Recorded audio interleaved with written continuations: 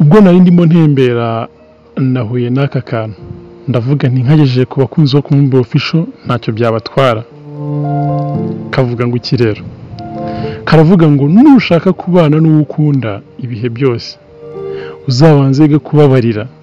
Bitabaye ibyo uzahorana agahinda ko gutandukana n'abo ukunda kubera ko nta muntu uzigera ubona na rimwe mu buzima ubaho utagira amakosa. Bakunze bo ku Mumbi Official rero ndabashimiye. Twatangiye gahunda yo kuzajya tubagezaho utuntu ducaracara ariko tumeze nk'inama tubigisha mu buzima bw'imibereho ya buri munsi. Tubigisha kubaho. Buriya kimwe mu bintu bikomeye cyane imana yaduhaye ni ukubaho mu mahoro kubaho twishimye kubana neza n'abaturanyi kugenderana gusurana kuvugisha umuntu neza. Ngira ngo kimwe mu byegeranyo twabagejeho ni icya world happiness report cyangwa se cyerekana ibyishimo mu bihugu by'abatuye isi. Rero bakunze ku Mumbi Official ndagira ngo tugaruke kuri iri jambo. Rivuga ngo nushaka kubana n'uwo ukunda ibihe byose banza wige kubabarira. Impamvu y'ibi byose uziga kubabarira kugira ngo ubane n'uwo ukunda ni uko nta muntu n'umwe utagira amakosa mu buzima.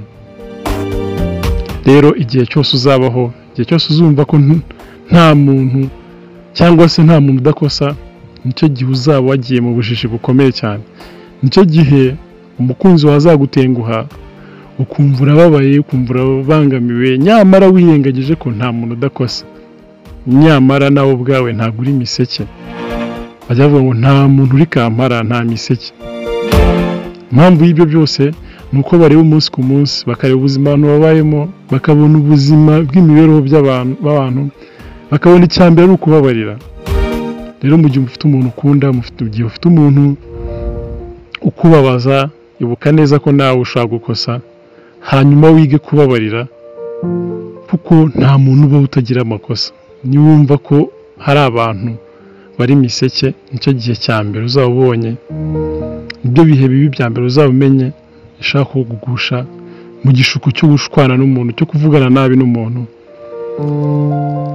Mbese muri make icyo isomo ry'uyu munsi ritwigisha banza wige kubabarira kugira ngo ubashe kubana neza n'uwo ukunda bakunze kumubona official ndagushimiye wowe ubashe kudu- kuduha umwanya. Shimwe wowe kandi subscribe like comment shimwe wowe udukurikirana uri mu Rwanda mu bihugu duturanye ku mugabane wa Aziya w'Uburayi no muri Leta Zunze Ubumwe za Amerika. Hasta la vista.